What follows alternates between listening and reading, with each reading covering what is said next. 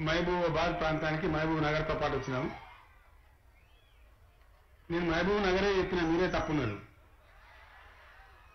అందులో భాగంగా అక్కడ చాలా దారుణమైనటువంటి కరువు పరిస్థితులు.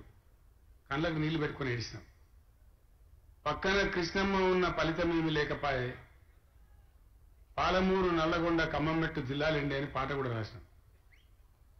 అట్లానే మహబూబాబాద్ తిరుమలగిరి వర్ధన్నపేట ఇప్పుడు దయాకరావు చెప్పినటువంటి వర్ధన్నపేట పాలకుర్తి ఆ ప్రాంతాలు తిరుగుతుంటే ఆ సగం గీకి గోకి ఇడిచిపెట్టిపోయిన కాలువలు చూసి ఈ జన్మలో కూడా నీళ్ళు రావు అని చాలా బాధపడేవాళ్ళం.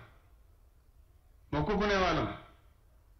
నేను మంచిర్యాల కానీ రామగుండం దగ్గర గోదావరి దాటుతుంటే లేదా ఎప్పుడైనా మన మురుగు ప్రాంతానికి ఏటూరు నగరం వస్తే అనేకమైన చిల్లర డబ్బులు వేసి దండం పెట్టేవాడిని. తల్లి గోదావరి మా మా నెల మీకు ఎప్పుడు వస్తావు మా కరువు ఎప్పుడు తీరుస్తావు? అని చాలా ఆర్ద్ర ఆర్ద్రతతోని ఆర్తితో దండం పెట్టేవారు.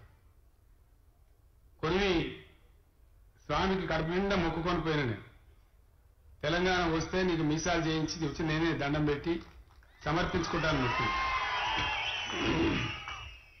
మరి ఆయన దయ మీ అందరూ ఆనాడు చేసినటువంటి ఉద్యమం మానుకోట రాళ్ళ బలం అన్ని కలిసి అద్భుతంగా మన రాష్ట్రం తెలంగాణ రాష్ట్రం మనకు సాకారమైంది.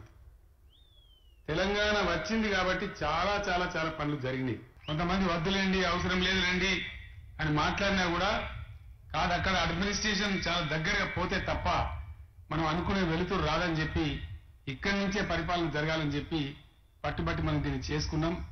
దాని ఫలితం కూడా మన కళ్ళ ముందు కనపడతా ఉంది. నేను మీ అందరినీ కోరేది ఒకటే రాష్ట్రం చాలా మంచి అభివృద్ధి దశలో ఉంది. ఒకే ఒక్క సంకేతం. మన రాష్ట్రం ఏర్పడక ముందు కేవలం నాలుగు మూడు మెడికల్ కాలేజీలు ఉండేటి ప్రభుత్వ ఆధ్వర్యంలో. ఈ రోజు ముప్పై మూడు మెడికల్ కళాశాలలు పెట్టుకున్నాం.